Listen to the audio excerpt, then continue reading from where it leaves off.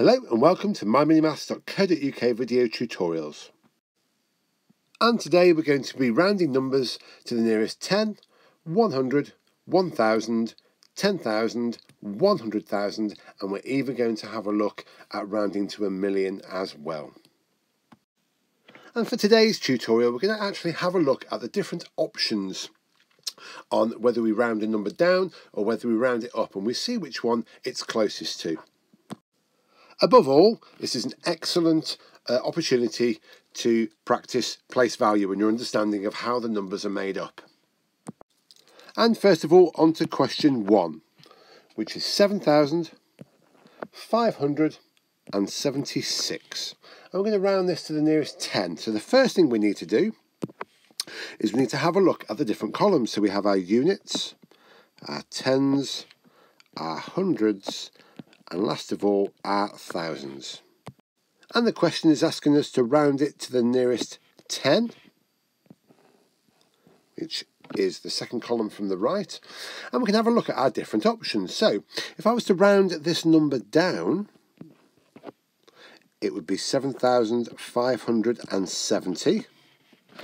There's my whole 10 rounded down.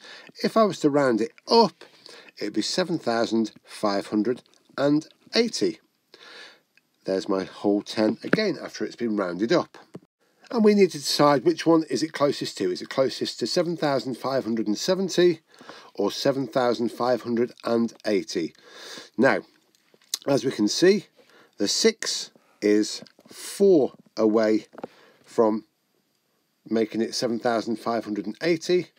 And if we have to take 6 off, to take it down to 7,570 therefore it's closest to 7,580 and next we're on to question 2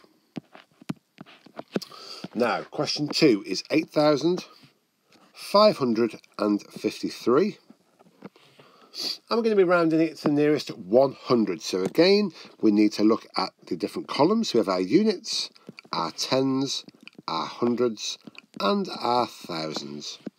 And we're going to be rounding it to the nearest 100, which is this column here. So, this can either be rounded to the nearest 500 or 600 as 553 here comes between these two whole hundreds. And we need to decide which one it is closest to. So if we look at the full number of 8,500 and 8,600, we can highlight the 53 and we can say, well, this is over halfway, which would be 8,550. The 3 takes it over halfway, so it's closest to 8,600. And next we're on to question 3.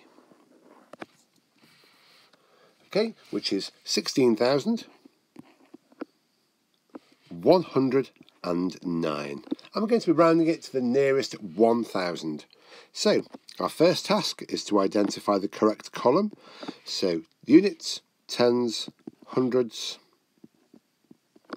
thousands, and ten thousands this time. And we're going to be rounding it to the nearest thousand, which is this column here.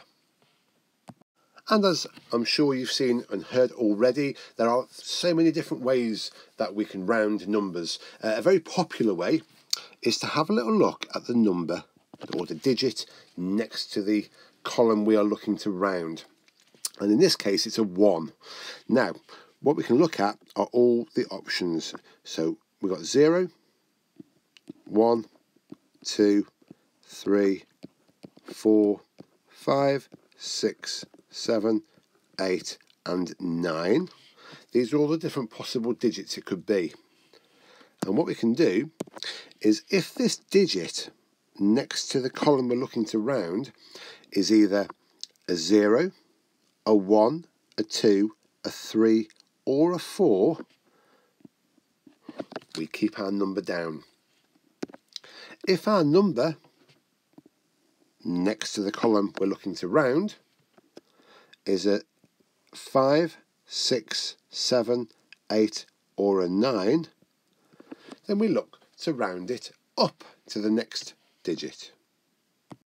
So in this case, because it's a 1, which is here, it rounds down, so we keep the 6 as it is to give us a final answer of 16,000. And as we can see, the 6 in the thousands column has stayed the same and we've created this whole thousand here, which is what it asked us to round it to. And next we're on to question 4 which is 546. And we're going to be rounding it to the nearest 1000. So we have our units, our tens and our hundreds, and our thousands here. Now, there's nothing in the thousands column, so we need to place a zero in there. So you can still see we have five hundreds, four tens for 40, and six units. And we're looking to round it to the nearest thousand, which is here. And we're going to look next door at the digit next door. Now, if we, we remember from the previous question, if it's a 0, a 1, a 2, a 3, or a 4, our number rounds down or stays the same. If it's a 5, a 6, a 7, 8, or a 9, then our number rounds up. And as we can clearly see, in this case, it's a 5, which is here. So it rounds the number up. So the 0 becomes a 1. And then we place our zeros to give it the full whole 1,000, which is what the question asked for. Thank you very much for listening today, and I look forward to speaking to you again soon. Take care.